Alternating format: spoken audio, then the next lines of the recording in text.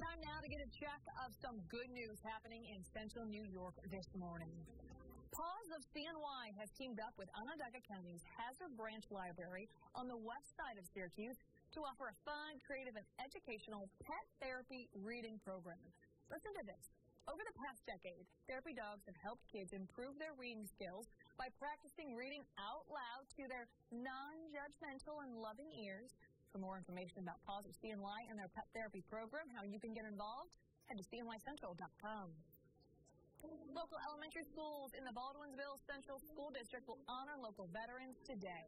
Students at Van Buren Elementary have invited their family and friends who are veterans to be guests of honor for breakfast at the school's annual Veterans Day Assembly.